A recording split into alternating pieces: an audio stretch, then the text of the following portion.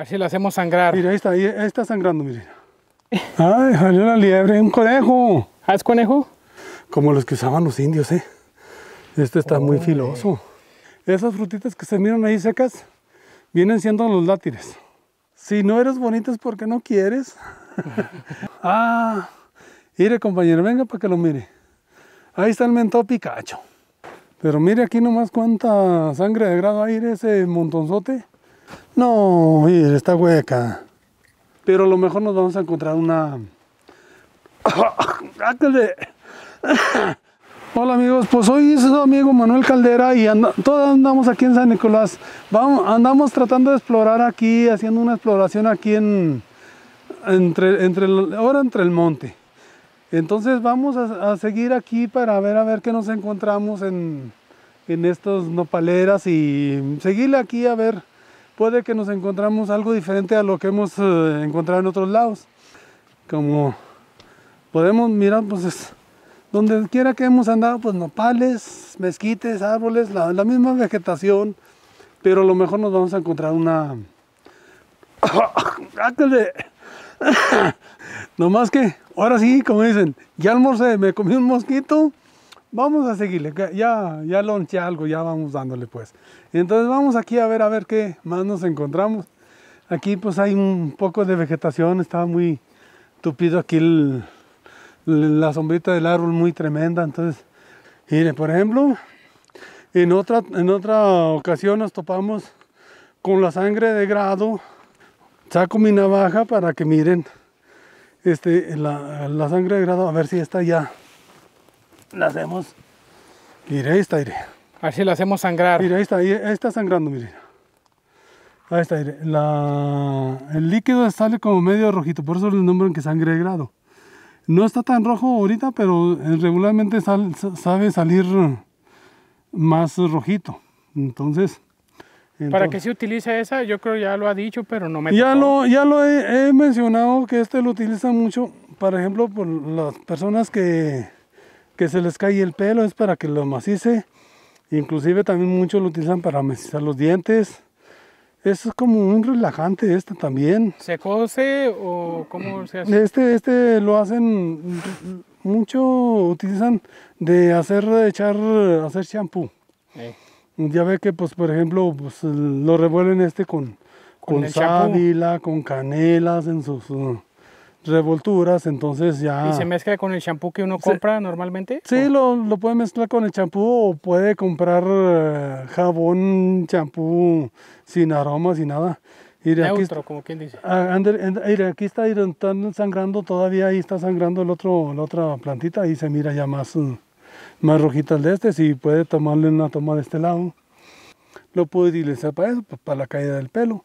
Entonces, uh, ¿Y para sí, los dientes? ¿Cómo? para los dientes también es como mascándolo, mordiéndolo.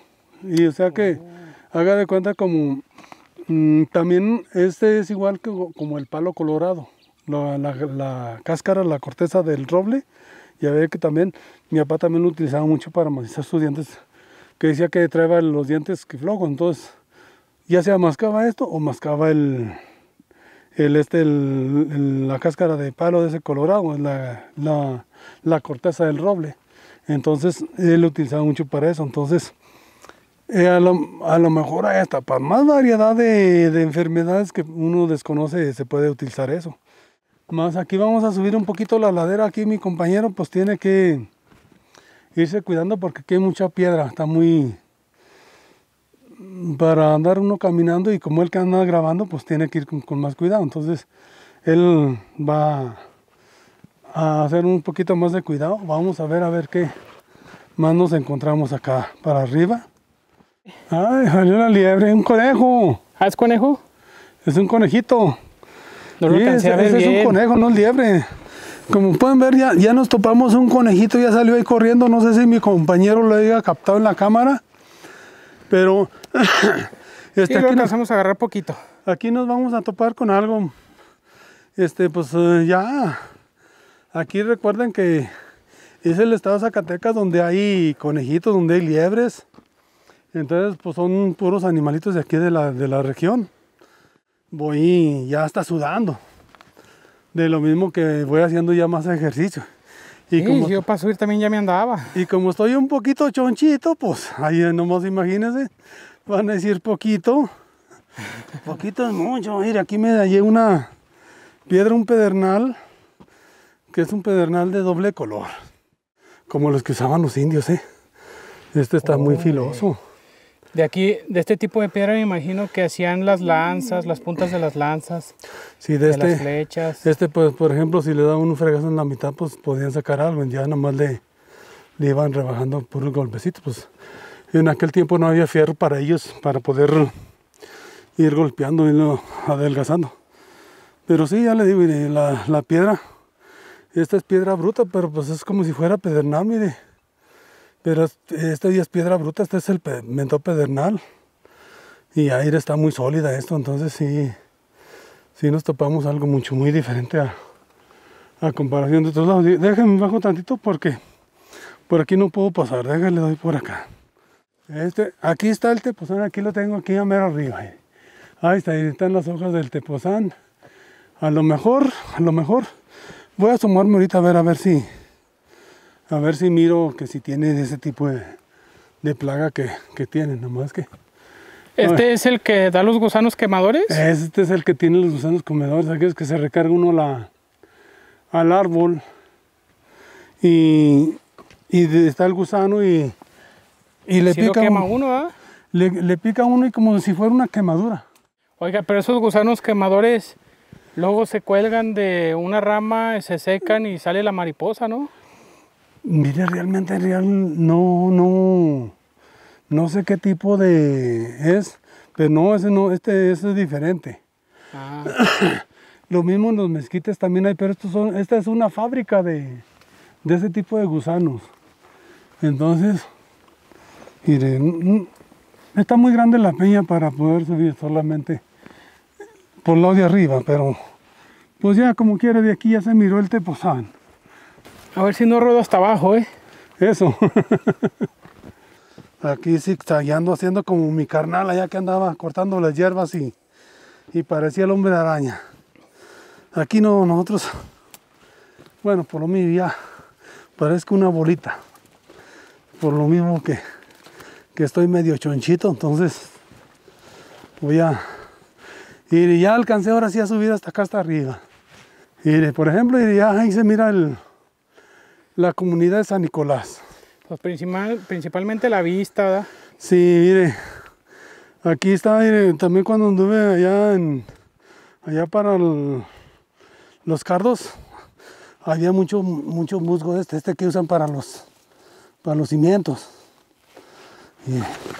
A los nacimientos. Esos. Mire, y como pueden ver, no tiene, no estaba muy revivido porque acá llegó el último agua, no se tardó más en llover para acá. Entonces allá donde va mi carnal por el de este musgo, allá sí está más verde, más de este dice. Él me dice que tiene que esperarse a que deje de llover unos ocho días para poderlo cortar porque si no se le hace como medio, ¿cómo le diré? Como que batalla más para juntarlo él. Entonces, ya este aquí lo dejamos. Ay, que le vengo a sud y sude. Como que si estuvo pesadita la subida o el pesadito era yo. Por las dos cosas, pesaditos nosotros y pesaditos la subida. Entonces, pues, por eso y luego ya empezó a calar el solecito. Estuvo bien que me ha quitado hace ratito de chamarra, ¿eh? porque ya cuando llegamos aquí estaba bien frío. Miren, en otras ocasiones les había mencionado el nopal tapón. Y aquí ya está el nopal tapón. Aquí sí está para que lo miren en su tamaño real que es. Este es, a ver si más adelantito nos, nos topamos una de nopal que, que piensa uno que es tapón, pero es el nopal de la tuna del coyote. Y este no, este tiene unas tunotas grandotas y bien semillonas rojas. Se, se las come uno y queda uno con el piquito coloradito, como si haya comido mole. Aquí está el tapón y aquí está la. Esa, es, este es el nopal de la tuna del coyote. También da unas tunitas así pequeñitas, rojitas, rojitas, igual que el nopal tapón. Nada más que están más, más, más pequeñitas. Esas no están tan semillonas. Ah, no, mira qué buena esta, esta leña. Es bien macizota, bien... Hasta para nosotros, como cuando yo estaba ahí, este, este es donde echan esas frutitas que se miran ahí secas, vienen siendo los látiles. Nomás que pues ahorita no están no es tiempo de que estén floreando. Pero ahí está donde están retenidos los látiles. Ya secados, ya pudridos.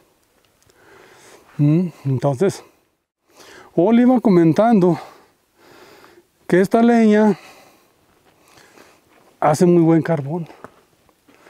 Cuando nosotros andábamos ahí en la, que estábamos ahí trabajando en la cantera, como para, se nos des- desgastaban los fierros, entonces para no llevárselos al herrero, nosotros teníamos ahí una fragua provisional y entonces buscábamos que acerrín, buscábamos eh, del mezquite también carbón.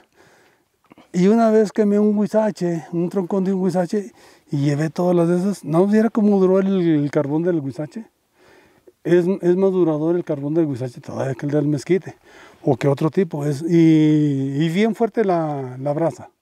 Aquí están bien bonitos los, los nopales, y a pesar de que los, los huizaches, los- la leña toda aquí seca. ¿eh? Y mucha gente dice, ay caray, yo quisiera tener leña, leña en mi casa.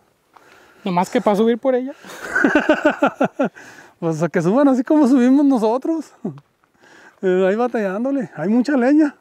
Para que vean, está bueno para que vengan de campo. Ahí abajito está la presa de Ábalos.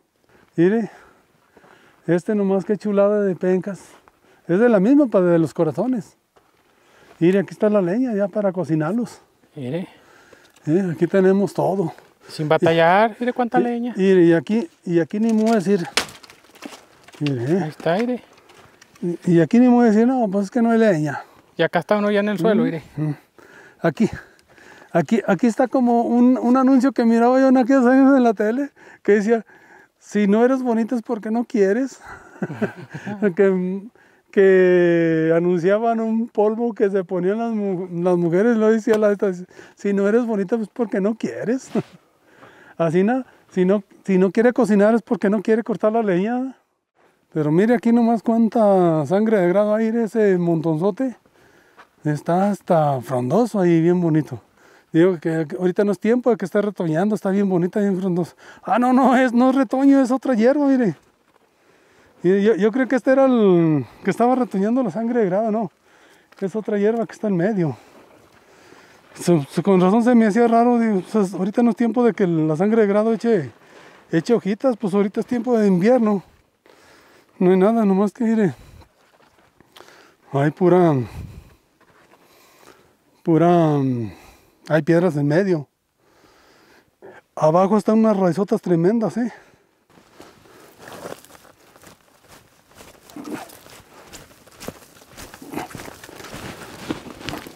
Mire, ahí está. Ahora, No la pude cortar porque estaba pegada con la otra. Pero ahí está para que miren, ¿eh? La raizota que tienen abajo. Este- esta piedra le pegan un fregazo y rajuela bien bonito. Entonces, pero a la hora de salir la rajuela sale bien filosota de aquí. Por ejemplo, aquí se mira como si estuviera filosa, pero pues ya si la voltea al otro lado ya no. Pero hasta el aire parece que está bien filosa, pero no, está, gruesa. Entonces, y hay piedras que le pega uno y se rejolean y sale así. Y puede uno cortar cualquier cosa por el filo que, que dan. Pues no sé si ustedes hayan mirado algo extraño, yo no he mirado nada extraño. ay, contra el nopal. Ya mi compañero ya, ya sintió algo extraño. Se anda subiendo arriba de los nopales. Se dio cuenta es que fue, iba reverseando. Espérese, a ver que esta tuna se mira completa. A ver. No, mire, está hueca. Está hueca por dentro. Y según yo la iba a pelar. Ya ya había preparado mi navaja y no. Pues ahí está, está hueca. Ahora sí nos, nos salió guaje. ¿Sí? Mire, yo, yo lo que venía mirando es esta, esta tunita, esta tunita. Pero no, esta tunita no, no, no, no tiene que ver nada porque pues está... Esta está seca de pilón, mire. También. No, porque da el colorcito ahí de la tuna. No, y ya me voy a panalear con esta tuna que me hallé. Ya había sacado mi navaja, bueno, la guardo. No. Ah, mire compañero, venga para que lo mire. Ahí está el mentado Picacho. El conito es decir, ese es el. Vaya haciendo vimos en las ratas y ahí fue donde miramos ahí. Y decía que ya estaba el Picasso y ese es el mentado Picacho. Entonces, pues ese es el único nombre de, ese cerro que me, me, grabé, porque ahí todos los demás no sé qué tipo de nombre le tengan aquí a los cerros. Entonces, ahí está una palma muy alta. Y, por ejemplo, ahorita pues los, los látiros pues no tienen látiros, no, no han floreado, florean de marzo para adelante. Y por allá en tiempo de aguas es cuando empiezan a haber látires. Y como les digo, a mí me ha tocado probar los látires, están bien dulcecitos, bien buenos. Porque los corta uno y haga de cuenta que agarra uno y están como amielados, como cuando un plátano está bien madurote. Nomás que este nomás tiene la cascarita por encima como si fuera un mezquite. Y todo lo demás y están... Tienen un friego de semillas como si fueran los mezquites. Pero todo lo de arriba eso está bien dulcecito, bien sabroso. Mire, como que aquí ya era un camino de que subía una camioneta o algo. Entonces ya... Quiere decir que para aquí hay entrada. Bueno, pues entonces es todo amigos. Espero que les haya gustado este video y lo compartan para que lo sigan mirando más uh, compañeros, más amigos. Entonces, mi nombre es Manuel Caldera. Los esperamos en la próxima aventura en Explorando Zacatecas. Hasta la próxima.